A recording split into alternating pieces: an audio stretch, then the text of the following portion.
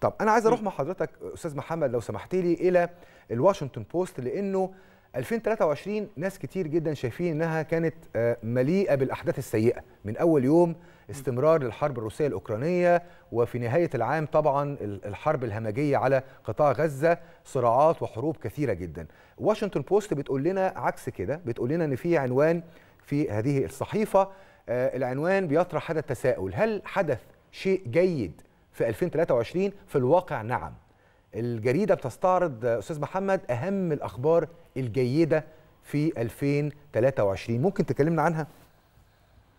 هو بالطبع يعني زميل عزيز زي ما حضرتك ذكرت الصحيفة استعرضت عدة أشياء جيدة لكنها يعني بشكل أساسي كانت اكتشافات علمية وخاصة متعلقة بالطب بشكل أساسي.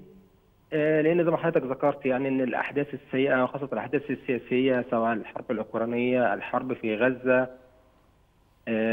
أو ما نشاهد شاهدناه من زلازل وقعت هذا العام سواء زلزال تركيا أو زلزال سوريا أو الزلزال اللي حدث في المغرب أيضا.